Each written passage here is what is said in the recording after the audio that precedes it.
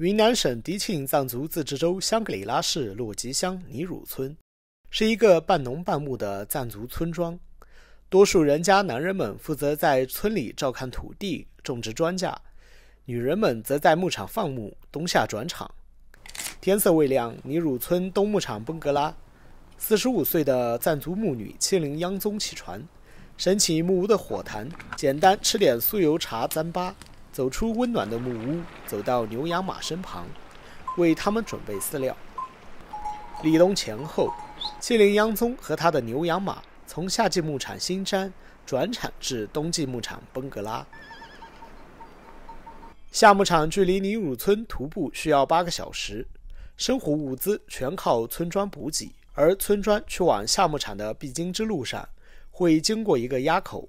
每到冬天，这条生命线都会被冰雪切断，夏牧场便成为无法出入的孤绝之地。人畜一旦碰上麻烦，很难得到救援。所以，夏牧场的牧民必须赶在冰雪封山前，与牲畜一起翻过垭口，转场去往离村庄更近的冬牧场。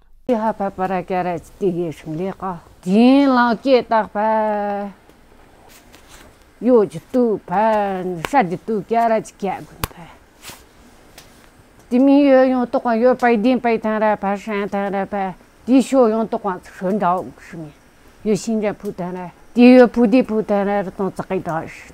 浪干啥的，让俺们的干就要不差人民民去。在冬牧场，麒麟央宗要度过一个寒冷又漫长的冬天，待到来年春暖花开之时。又一次回到水草丰茂的夏牧场，周而复始。七灵央宗自幼在牧场长大，跟着母亲学习做一名牧女，习惯了牧场的静谧和广阔。母亲卓玛央宗本打算在牧场冬夏轮转，终其一生。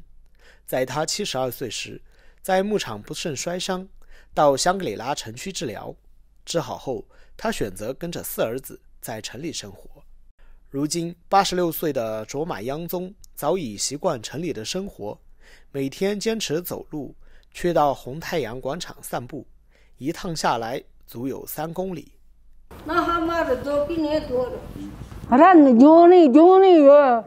嗯，两个我们过。人那个跟咋唱过来？你这个就说了，你说的这个有。但你那个没过，别的几乎也这个有，还给我有这个。七灵央宗有个女儿，名叫央宗错母。年少时在香格里拉城区读书，与各族同龄人一起学习文化知识，能说一口流利的普通话，还会些英语。随着经济社会的不断发展，尼汝村不少牧民开始放弃传统的游牧生活，从事其他行业。央宗措姆在毕业后选择留在香格里拉的城中工作生活。不过，央宗措姆还是会在牧场最忙的时候赶回母亲身边，帮着干点农活。不在牧场时，他会用手机转发母亲拍摄的牧场照片，把要售卖牛羊、酥油、药材的消息发布出去。尼汝村周围是连绵不断的原始森林，翠绿的草甸，清澈的流泉。近年来，尼汝的美逐渐被外界发现，不断有背包客来访。村里部分藏族人家也开起客栈，当起导游。对于母亲七灵央宗希望他接手牧场的期盼，央宗错母有着自己的想法。如果是旅游发展的好的话，是不是？我想是，如果能开个客栈，我想尽量开个客栈啊，或者是像别人一样的，在那个草皮上开个那种天幕一个搭着，然后就，嗯，放烧烤的那种，我觉得也可以。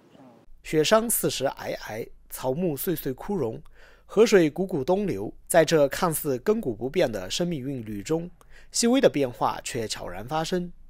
牧场的新牧女正在成长，央宗错母不断思索如何过上有别于奶奶、妈妈的新牧民的新生活。